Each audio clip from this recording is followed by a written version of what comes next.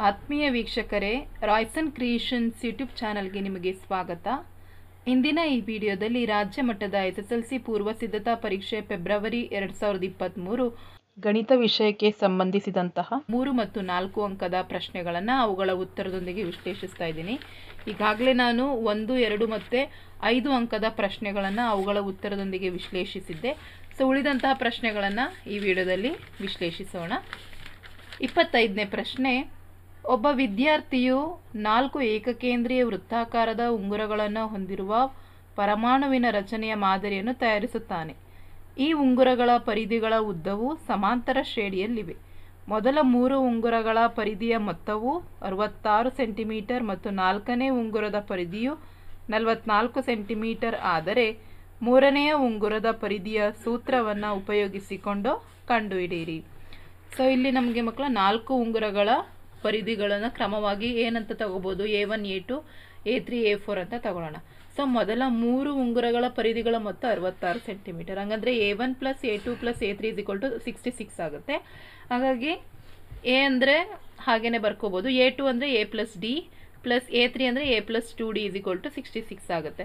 ಹಾಗಾಗಿ ಎ ಎಲ್ಲ ಕೂಡಿಸ್ಕೊಂಡ್ರೆ three a plus three d is to sixty six so ಇದನ್ನ divided by three ಮಾಡಿದ್ರೆ a plus d is to twenty two ಬಂತು. ಇದನ್ನು ಸಮೀಕರಣ ಒಂದು ಅಂತ ಹೇಳಿ ತಗೊಳ್ಳೋಣ.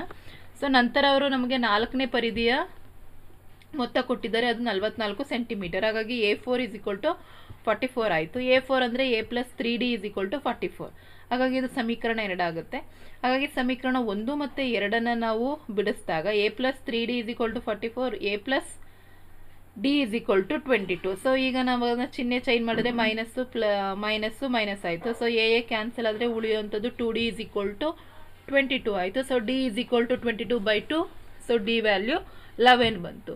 ಹಾಗಾಗಿ ಸೊ ಈ ಡಿ ಲೆವೆನ್ ಅನ್ನ ಸಮೀಕರಣ ಒಂದರಲ್ಲಿ ನಾನು ಹಾಕಿದಾಗ a plus d is equal to twenty two so a plus eleven is equal to twenty two therefore a is equal to twenty two minus eleven eleven ಬರುತ್ತೆ.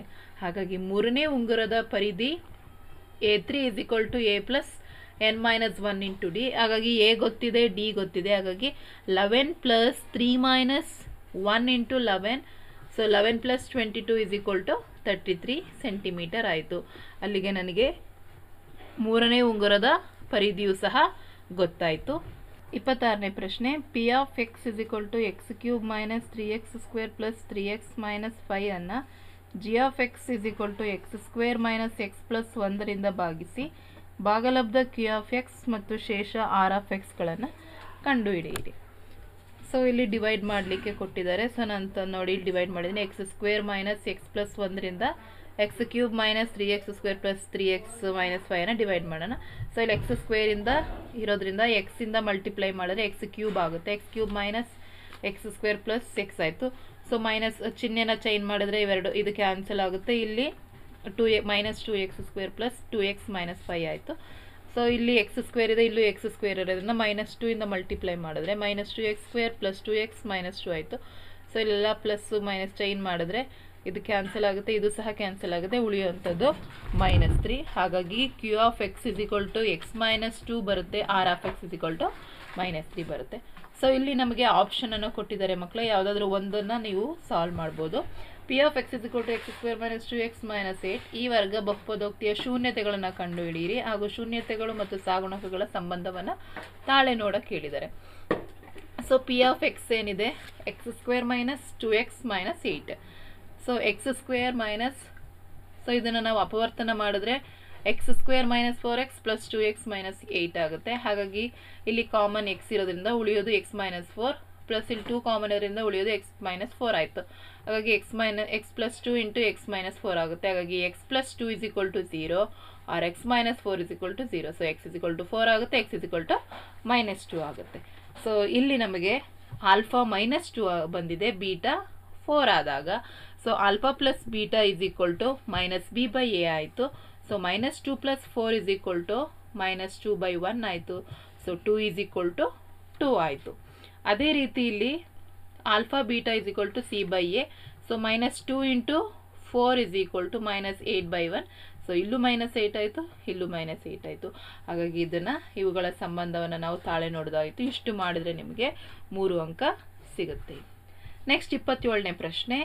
A of two comma minus five ಮತ್ತು b of minus two comma eight ಬಿಂದುಗಳು ಸಮಾನ ದೂರದಲ್ಲಿರುವ X ಅಕ್ಷದ ಮೇಲಿನ P ಬಿಂದುವಿನ ನಿರ್ದೇಶಾಂಕಗಳನ್ನು ಕಂಡುಹಿಡಿಯಿರಿ.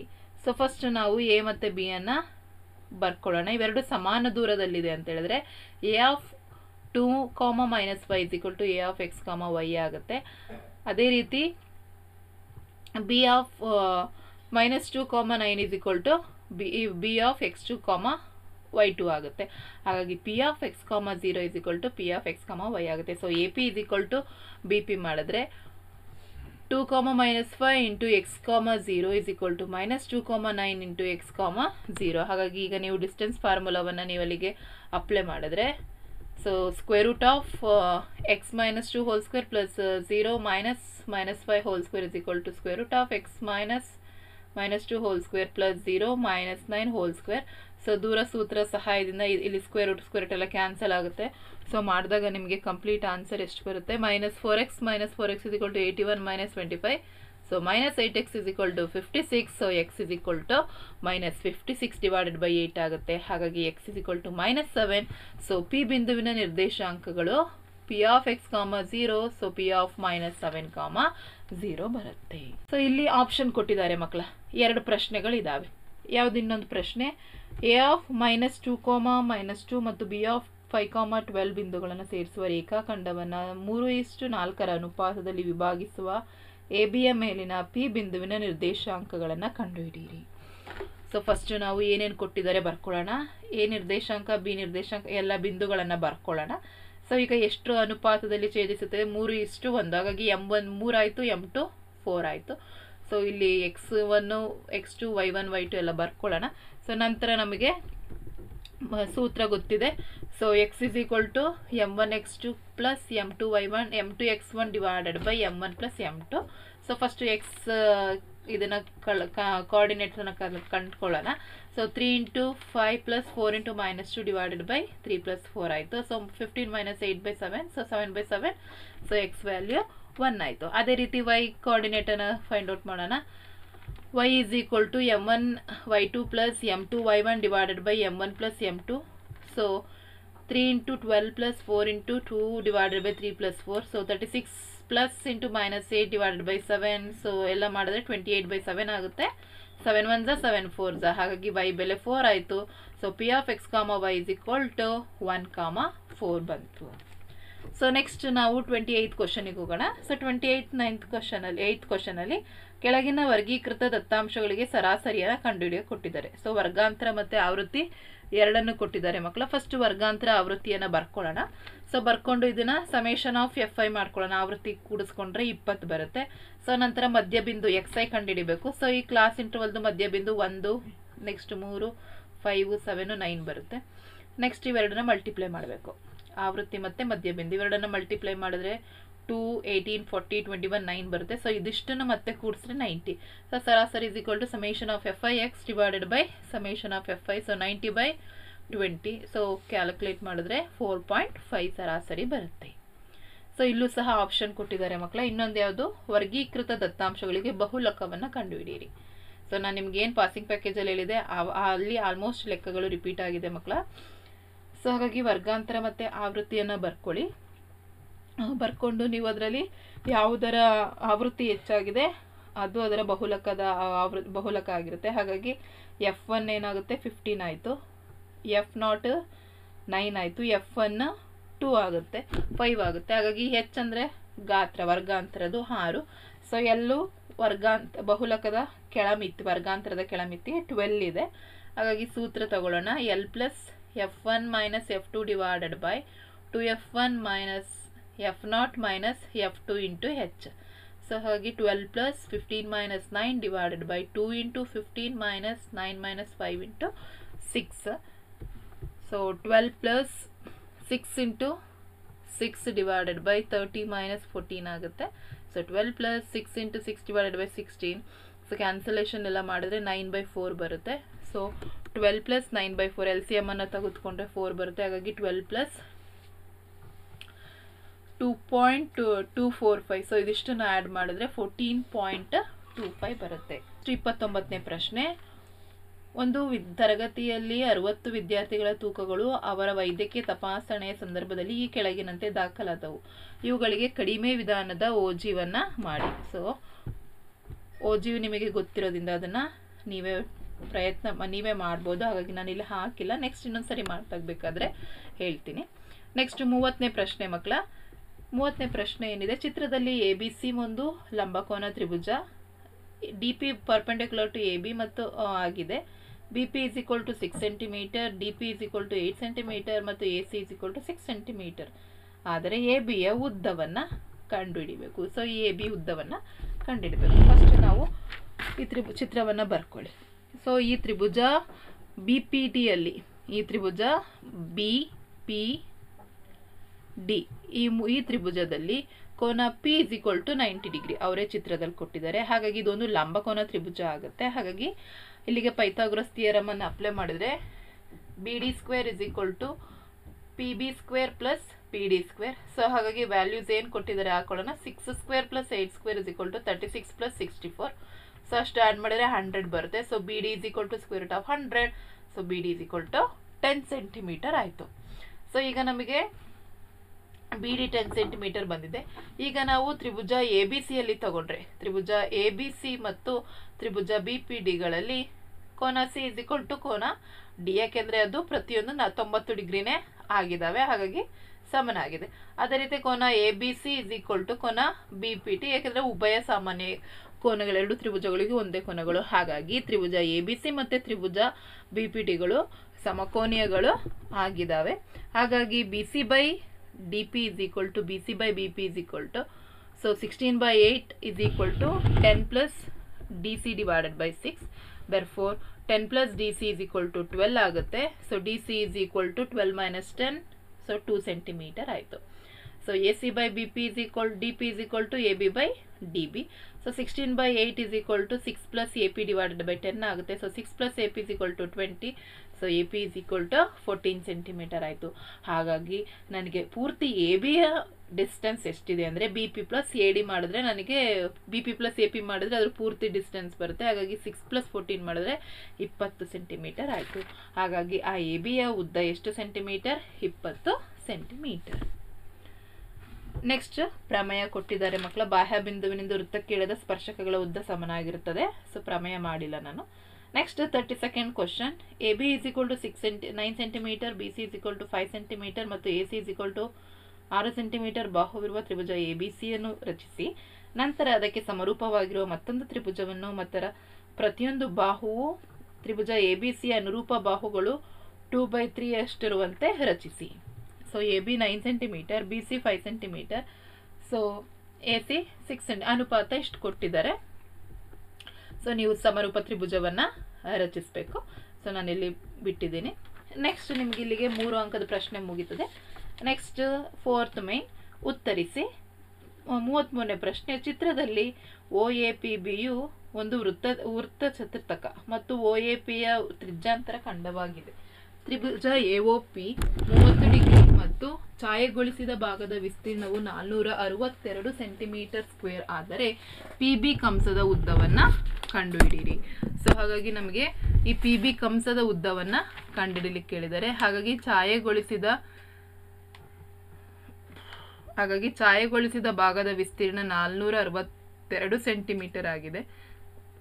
ಸೊ ಛಾಯೆಗೊಳಿಸಿದ ಭಾಗದ ವಿಸ್ತೀರ್ಣ ಗೊತ್ತಿದೆ theta by three sixty into pi R square is equal to four sixty two. So thirty degree ಕೊಟ್ಟಿರೋದ್ರಿಂದ thirty by three sixty into pi R square is equal to three sixty four sixty two ಆಯಿತು.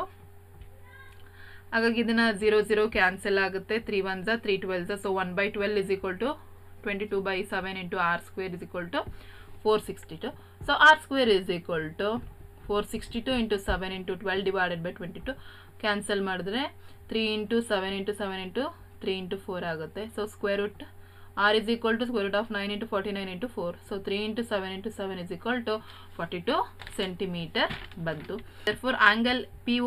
Equal to angle A O B minus A O P ಮಾಡಿದ್ರೆ ninety minus thirty sixty degree ಬಂತು. ಹಾಗಾಗಿ ಕಂಸ P ಬಿಯ ಉದ್ದ theta by three sixty into two pi R so theta sixty ಸಿಕ್ಕಿದೆ. ಹಾಗಾಗಿ sixty by three sixty into two into twenty two by seven into forty six ಆಗುತ್ತೆ. ಹಾಗಾಗಿ ಇವೆಲ್ಲವನ್ನು ಕ್ಯಾನ್ಸಲ್ ಮಾಡಿದ್ರೆ ನಮಗೆ ಉಳ್ಕೊಳ್ಳೋವಂಥದ್ದು forty four centimetre next thirty fourth question ಕೊಟ್ಟಿರುವ ರೇಖಾತ್ಮಕ ಸಮೀಕರಣಗಳ ಜೋಡಿ ಪರಿಹಾರದ ನಕ್ಷೆಯನ ವಿಧಾನದಿಂದ ಕಂಡುಹಿಡಿಯಿರಿ. So X plus five is equal to five so ನೀವು ಎಕ್ಸಿಗಾದ್ರೂ ವ್ಯಾಲ್ಯೂ ಕೊಡಿ ವೈಗಾದ್ರೂ ವ್ಯಾಲ್ಯೂ ಕೊಡಿ. ಸೊ ಈಸಿಯಾಗಿ ಮಾಡ್ಬೋದು. ಇಲ್ಲಿ ನಾನು X plus Y is equal to five so ಎಕ್ಸಿಗೆ ವ್ಯಾಲ್ಯೂನ ಕೊಡ್ತಾ ಹೋಗಿದ್ದೀನಿ. So zero plus five Y is equal to five so Y is equal to five ಆಯಿತು ಸೊ ಎಕ್ಸ್ ಝೀರೋ ಆದಾಗ ವೈ ಬೆಲೆ ಫೈವ್ ಆಯಿತು. ಅದೇ ರೀತಿ ಎಕ್ಸಿಗೆ ಫೈ ವ್ಯಾಲ್ಯೂ ಕೊಟ್ಟಾಗ ವೈ ವ್ಯಾಲ್ಯೂ ಏನಾಗಿದೆ? ಝೀರೋ ಆಗಿದೆ. ಸೊ ಅದನ್ನು ಈ ಟೇಬಲ್ಗೆ ಹಾಕಬೇಕು. ಇದಿಷ್ಟು ಮಾಡಿದರೆ ನಿಮಗೆ ಇಲ್ಲೇ ಒಂದು ಒಂದು ಅಂಕ ನಿಮಗೆ ಸಿಗುತ್ತೆ. ಈ ಟೇಬಲಿಗೆ ಸಿಗುತ್ತೆ. ನೆಕ್ಸ್ಟ್ ಈ ಕ್ಯಾಲ್ಕುಲೇಷನಿಂದ ನಿಮಗೆ ಎರಡು ಅಂಕ ಇಲ್ಲೇ ಸಿಗ್ತದೆ. ಅದೇ ರೀತಿ ಇನ್ನೊಂದು ಈಕ್ವೇಷನಿಗೂ ನಾವು ಎಕ್ಸ್ ಬೆಲೆನ ಸಬ್ಸ್ಟಿಟ್ಯೂಟ್ ಮಾಡಿದ್ರೆ ವೈ ಬೆಲೆ ಬರುತ್ತೆ. ಸೊ ಇದಿಷ್ಟನ್ನು ನೀವು ತೆಗೆದುಕೊಂಡು ಗ್ರಾಫಿಗೆ ಹಾಕಬೇಕು. ನಾನಿಲ್ಲಿ ಗ್ರಾಫನ್ನು ಹಾಕಿ ತೋರಿಸಿಲ್ಲ ಮಕ್ಕಳ. ಮೂವತ್ತೈದನೇ ಪ್ರಶ್ನೆ, ಒಂದು ಮೋಟಾರ್ ದೋಣಿಯು ಜವವು ನಿಶ್ಚಲ ನೀರಿನಲ್ಲಿ ಹದಿನೆಂಟು ಸೆ ಕಿಲೋಮೀಟರ್ ಪರ್ ಅವರ್ ಆಗಿದೆ. ಈ ದೋಣಿಯು ಸಮ ಪ್ರವಾಹಕ್ಕೆ ಎದುರಾಗಿ ಇಪ್ಪತ್ನಾಲ್ಕು ಕಿಲೋಮೀಟರ್ ಪರ್ ದೂರ ಚಲಿಸಲು ತೆಗೆದುಕೊಳ್ಳುವ ಸಮಯವು ಅದು ಪ್ರವಾಹದೊಡನೆ ಮೊದಲಿನ ಸ್ಥಾನಕ್ಕೆ ಹಿಂತಿರುಗಲು ತೆಗೆದುಕೊಳ್ಳುವ ಸಮಯಕ್ಕಿಂತ ಒಂದು ಗಂಟೆ ಹೆಚ್ಚಾಗಿದೆ. ಹಾಗಾದರೆ ಪ್ರವಾಹದ ಜವವನ್ನು ಕಂಡುಹಿಡಿಯಿರಿ. ಸೊ ಪ್ರವಾಹದ ಜವ ಗೊತ್ತಿಲ್ಲ ಎಕ್ಸ್ ಕಿಲೋಮೀಟರ್ ಪರ್ ಅವರ್ ಅಂತ ತಗೊಳ್ಳೋಣ. ಸೊ ವಿರುದ್ಧ ದಿಕ್ಕಿನಲ್ಲಿ ಚಲಿಸ್ತಾ ಇದೆ ಅಂದಾಗ ನಾವು ಮೈನಸ್ ತಗೋಬೇಕು. ಹಾಗಾಗಿ eighteen minus X kilometre per hour ಮತ್ತು ಪ್ರವಾಹದ ದಿಕ್ಕಿಗೆ ಅಂದಾಗ ಪ್ಲಸ್ ತಗೋಬೇಕು. ಹಾಗಾಗಿ ಜವ ಏನಾಗುತ್ತೆ? X plus eighteen kilo eight kilometre eighteen kilometre ಆಗುತ್ತೆ. ಹಾಗಾಗಿ ಕಾಲ is equal to twenty four divided by eighteen minus X ಯಾಕೆಂದರೆ ಸೂತ್ರ ಗೊತ್ತಿದೆ, ಕಾಲ ಇಸ್ ಇಕ್ವಲ್ ಟು ದೂರ ಬೈ ವೇಗ. ಅದೇ ರೀತಿ ವಿರುದ್ಧದ ದಿಕ್ಕಿಗೆ ಇದು ಅದರ ದಿಕ್ಕಿಗೆ ಹೋಗ್ತಾ ಇದೆ ಅಂದಾಗ ಕಾಲ T two is equal to twenty four divided by eighteen plus X is X ಗಂಟೆ ಆಗುತ್ತೆ. ಹಾಗಾಗಿ T one minus T two is equal to one ಆಗುತ್ತೆ. So twenty four by eighteen minus X minus twenty four divided by eighteen plus X is equal to one ಆಗುತ್ತೆ. So ಇಲ್ಲಿ ನೀವು L C ಎಮನ್ನು ತಗೊಂಡು cross multiply ಮಾಡ್ಕೊಂಡ್ಬಿಟ್ರೆ 24 into 18 plus x minus 24 into 18 minus x is equal to 18 minus x into 18 minus x ಆಗುತ್ತೆ. So ಹಾಗಾಗಿ ನಿಮಗೆ final ಆಗಿ ಸಿಗುವಂಥದ್ದು X square plus forty eight X minus three twenty four is equal to zero so ನೀವಿಲ್ಲಿ ಅಪವರ್ತನ ಮಾಡ್ಬೋದು ಅಥವಾ ಸೂತ್ರ ವರ್ಗ ಸಮೀಕರಣದ ಸೂತ್ರವನ್ನಾದರೂ ಬಳಸ್ಕೊಂಡು ನೀವು ವ್ಯಾಲ್ಯೂವನ್ನು ಫೈಂಡ್ ಔಟ್ ಮಾಡ್ಬೋದು. ಸೊ ನಾನಿಲ್ಲಿ ವರ್ಗ ಸಮೀಕರಣದ ಸೂತ್ರ X is equal to minus B plus or minus square root of B square minus four A C divided by two two A ಫಾರ್ಮುಲಕ್ಕೆ ಹಾಕಿ ಮಾಡಿದಾಗ ಎಕ್ಸ್ ವ್ಯಾಲ್ಯೂ ಸಿಕ್ಸ್ ಬಂತು, ಇನ್ನೊಂದು ವ್ಯಾಲ್ಯೂ ಮೈನಸ್ ಫಿಫ್ಟಿ ಫೋರ್ ಬಂತು. So minus ಇರೋದ್ರಿಂದ ಅದನ್ನ neglect ಮಾಡ್ತೀವಿ. ಹಾಗಾಗಿ ಪ್ರವಾಹದ ಜವ ಏನಾಗಿದೆ? ಆರು ಕಿಲೋಮೀಟರ್ ಪರ್ ಅವರ್ ಆಗಿದೆ. ಸೊ ಈ ಪ್ರಶ್ನೆಗೂ ಸಹ ಒಂದು ಆಪ್ಷನ್ ಅನ್ನು ಕೊಟ್ಟಿದ್ದಾರೆ. ಎ ಎಂಬ ವ್ಯಕ್ತಿಯ ವಯಸ್ಸು ಬಿ ಎಂಬ ವ್ಯಕ್ತಿಯ ವಯಸ್ಸಿಗಿಂತ ಇಪ್ಪತ್ತಾರು ವರ್ಷ ಹೆಚ್ಚಾಗಿದೆ. ಮೂರು ವರ್ಷಗಳ ನಂತರ ಅವರ ವಯಸ್ಸುಗಳ ಗುಣಲಬ್ಧವು ಮುನ್ನೂರ ಅರವತ್ತು ಆಗುತ್ತದೆ. ಎ ಮತ್ತು ಬಿ ವ್ಯಕ್ತಿಗಳ ವಯಸ್ಸಿನ, ಈಗಿನ ವಯಸ್ಸನ್ನು ಕಂಡುಹಿಡಿಯಿರಿ. ಸೊ ಬಿ ಎಂಬ ವ್ಯಕ್ತಿಯ ವಯಸ್ಸನ್ನು ನಮಗೆ ಗೊತ್ತಿಲ್ಲ ಎಕ್ಸ್ ಅಂತ ತಗೊಳ್ಳೋಣ. ಆದರೆ ಎ ಎಂಬ ವಯಸ್ಸಿ, ವ್ಯಕ್ತಿಯ ವಯಸ್ಸೇನಾಗಿದೆ ಬಿಗಿಂತ ಇಪ್ಪತ್ತಾರು ಜಾಸ್ತಿ. ಹಾಗಾಗಿ ಎಕ್ಸ್ ಪ್ಲಸ್ ಇಪ್ಪತ್ತಾರಾಯಿತು ಸೊ ಮೂರು ವರ್ಷಗಳ ನಂತರ ಅಂದರೆ ಎನ ವಯಸ್ಸು ಎಕ್ಸ್ ಪ್ಲಸ್ ತ್ರೀ ಇಯರ್ಸ್ ಆಗುತ್ತೆ. ಬಿನ ವಯಸ್ಸು X plus twenty six plus three ಅಂದರೆ ಟ್ವೆಂಟಿ ನೈನ್ ಇಯರ್ಸ್ ಆಗುತ್ತೆ. ಹಾಗಾಗಿ ಅವರ ಇಬ್ಬರ ವರ್ಷ, ವಯಸ್ಸುಗಳ ಗುಣಲಬ್ಧ ಮುನ್ನೂರ ಅರವತ್ತು so X plus three into X plus twenty nine is equal to three sixty so multiply ಮಾಡಿದರೆ ನಿಮಗೆ X square plus twenty nine X plus three X my plus eighty seven is equal to three sixty so X square plus thirty two X minus two seventy three ಬಂದ್ಬಿಡುತ್ತೆ. ಹಾಗಾಗಿ ಇದನ್ನು ನೀವು ಅಪವರ್ತನನಾದರೂ ಮಾಡಿ ಅಥವಾ ವರ್ಗ ಸಮೀಕರಣವನ್ನು ಮಾಡಿ. ನಾನಿಲ್ಲಿ ಅಪವರ್ತನ ತೊಗೊಂಡಿದ್ದೀನಿ. ಮೂವತ್ತೊಂಬತ್ತು ಏಳಲಿ ಇನ್ನೂರ ಎಪ್ಪತ್ತ್ಮೂರು ಸೊ ಮಾಡಿದಾಗ ನನಗೆ X minus seven into X plus thirty nine ಬಂತು. ಹಾಗಾಗಿ X minus seven is equal to zero so X is equal to seven ಆಗುತ್ತೆ. ಹಾಗೆ ಎನ ಈಗಿನ ವಯಸ್ಸು ಏಳು ವರ್ಷ ಆಗುತ್ತೆ. ಬಿನ ಈಗಿನ ವಯಸ್ಸು ಮೂವತ್ತ್ಮೂರು ವರ್ಷ ಆಗುತ್ತೆ. ನೆಕ್ಸ್ಟ್ ಮೂವತ್ತಾರನೇ ಪ್ರಶ್ನೆ. ಒಂದು ಗೋಪುರ ಮತ್ತು ಒಂದು ಕಟ್ಟಡವು ಸಮದಟ್ಟಾದ ನೆಲದ ಮೇಲೆ ನೇರವಾಗಿ ನಿಂತಿವೆ. ನೆಲದ ಮೇಲಿನ ಒಂದು ಬಿಂದುವಿನಿಂದ ಹಾಗೂ ಕಟ್ಟಡದ ತುದಿಯಿಂದ ಗೋಪುರದ ತುದಿಗೆ ಉನ್ನತ ಕೋನಗಳು ಕ್ರಮವಾಗಿ ಮೂವತ್ತು ಡಿಗ್ರಿ ನಲ್ ಅರವತ್ತು ಡಿಗ್ರಿ ಆಗಿವೆ. ಗೋಪುರದ ಪಾದದಿಂದ ಬಿಂದುವಿಗಿರುವ ದೂರವು ಮೂವತ್ತು ರೂಟ್ ತ್ರೀ ಮತ್ತು ಮೀಟರ್ ಹಾಗೂ ಕಟ್ಟಡದ ಎತ್ತರವು ಹತ್ತು ಮೀಟರ್ ಆದರೆ, ಗೋಪುರ ಮತ್ತು ಕಟ್ಟಡಗಳ ಪಾದಗಳ ನಡುವಿನ ದೂರ ಹಾಗೂ ಗೋಪುರ ಮತ್ತು ಕಟ್ಟಡಗಳ ತುದಿಗಳ ನಡುವಿನ ದೂರವನ್ನು ಕಂಡುಹಿಡಿಯಿರಿ. ಸೊ ನಮಗೆ ಈ ಪ್ರಶ್ನೆನ ಅರ್ಥ ಮಾಡ್ಕೊಳ್ಳಿ ಮಕ್ಕಳ. ಅವರೇ ಕೊಟ್ಟಿದ್ದಾರೆ, ಚಿತ್ರವನ್ನು ಕೊಟ್ಟಿದ್ದಾರೆ, ಏನೇನೆಲ್ಲ ಕೊಟ್ಟಿದ್ದಾರೆ. ಸೊ ನಾವೀಗ ಏನಂತ ಹೇಳಿದ್ರೆ, ಗೋಪುರ ಮತ್ತು ಕಟ್ಟಡಗಳ ಪಾದಗಳ ನಡುವಿನ ದೂರ ಹಾಗೂ ಗೋಪುರ ಮತ್ತು ಕಟ್ಟಡದ ತುದಿಯ ನಡುವಿನ ದೂರವನ್ನು ನಾವು ಕಂಡಿಡಿಬೇಕು. ಸೊ ಈಗ ನಾವು ತ್ರಿಭುಜ ಎ ಬಿ ಸಿಯನ್ನು ತಗೊಳ್ತಾ ಇದ್ದೀನಿ. ತ್ರಿಭುಜ ಎ ಬಿ ಸಿಯಲ್ಲಿ ಕೋನ ಬಿ ಇಸ್ ಈಕ್ವಲ್ ಟು ತೊಂಬತ್ತು ಡಿಗ್ರಿ. ಹಾಗಾಗಿ A B by B C is equal to tan thirty degree ಆಗುತ್ತೆ. So A B is equal to thirty root three so tan thirty ಅಂದರೆ one by root three so A B is equal to thirty metre ಆಯಿತು. ಹಾಗಾಗಿ A P is equal to A A minus P B ಆಯಿತು. So thirty minus ten ಮಾಡಿದರೆ twenty ಹಾಗಾಗಿ ನನಗೆ A P ಗೊತ್ತಾಯಿತು. So A P ಎಷ್ಟಿದೆ? Twenty metre ಇದೆ. ಹಾಗೆ ತ್ರಿಭುಜ ಎ ಪಿ ಎ ಪಿ ಡಿಯಲ್ಲಿ ತ್ರಿಭುಜ A P ಡಿಯಲ್ಲಿ tan sixty degree sixty degree ಇದೆ. ಹಾಗಾಗಿ A P by P D is equal to tan sixty degree so twenty divided by P D is equal to root three ಹಾಗಾಗಿ P D ಏನಾಯಿತು? Twenty divided by root three therefore B E is equal to twenty by root three ಆಯಿತು. So ಹಾಗಾಗಿ ತ್ರಿಭುಜ A P ಡಿಯಲ್ಲಿ P D by A D is equal to cos sixty degree so P D is equal to half into A D so twenty into two divided by root three is equal to A D so A D is equal to forty by root three A D is equal to forty by root three into two by root three by root three ಮಾಡಿದ್ರೆ so root three root three root cancel ಆಗುತ್ತೆ. Forty by root three forty root three divided by three metre ಆಗುತ್ತೆ. ಹಾಗಾಗಿ ಅವುಗಳ ನಡುವಿನ ದೂರ ಎಷ್ಟಾಗುತ್ತೆ? Forty root three by three metre ಆಗುತ್ತೆ. So ಇದಿಷ್ಟು ಪ್ರಶ್ನೆ ನಿಮ್ಗೆ ಅರ್ಥ ಆಗಿದೆ. ಮೂವತ್ತ ಏಳನೇ ಪ್ರಶ್ನೆ ನಿಮಗೆ ಪ್ರಮೇಯವನ್ನು ಕೊಟ್ಟಿದ್ದಾರೆ ಮಕ್ಕಳ. ಸೊ ಹಾಗಾಗಿ ಅದನ್ನು ನೀವು ಬರೆದಿರ್ತೀರಾ ಅಂತ ಅಂದ್ಕೊಂಡು ಈ ವಿಡಿಯೋನ ಇಲ್ಲಿಗೆ ಎಂಡ್ ಮಾಡ್ತಾ ಇದ್ದೀನಿ. ಹೆಚ್ಚಿನ ವಿಡಿಯೋಗಾಗಿ ರಾಯ್ಸನ್ ಕ್ರಿಯೇಷನ್ಸ್ ಯೂಟ್ಯೂಬ್ ಚಾನಲನ್ನು ಸಬ್ಸ್ಕ್ರೈಬ್ ಮಾಡಿ.